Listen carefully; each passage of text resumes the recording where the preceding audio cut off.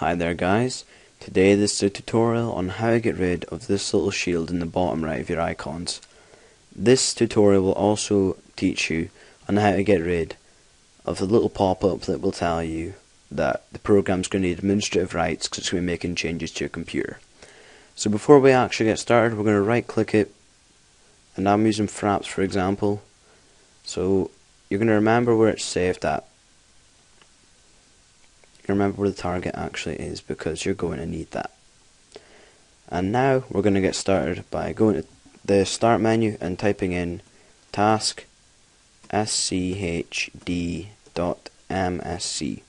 Press enter and it will open up the task scheduler.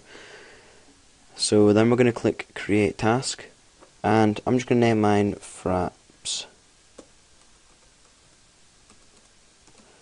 fraps and run with highest privileges. This will get rid of the box that comes up when you're trying to run it. So there, configure for Windows 7. That is you done in the general tab.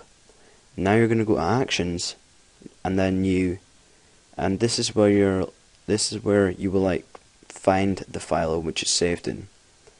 So I've already went to, I've already located it so I'm going to do it again. Just like where it was when we checked where the like file is actually located.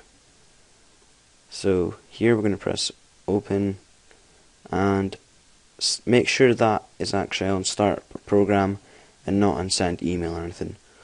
So then we're just going to click OK to that.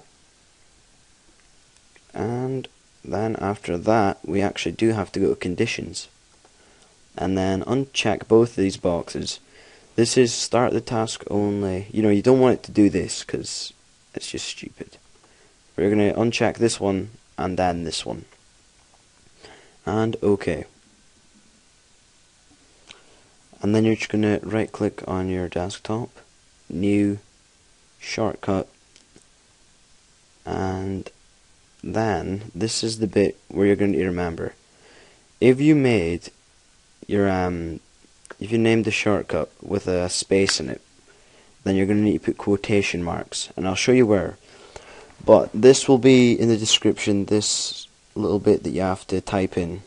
So it's gonna you're gonna start off with sch tasks and space slash run space slash tn and then space.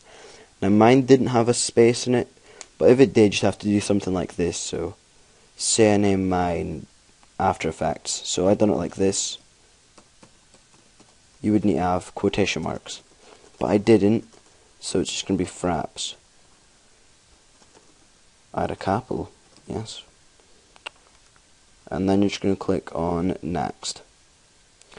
And you're going to rename the shortcut, well, just to fraps for me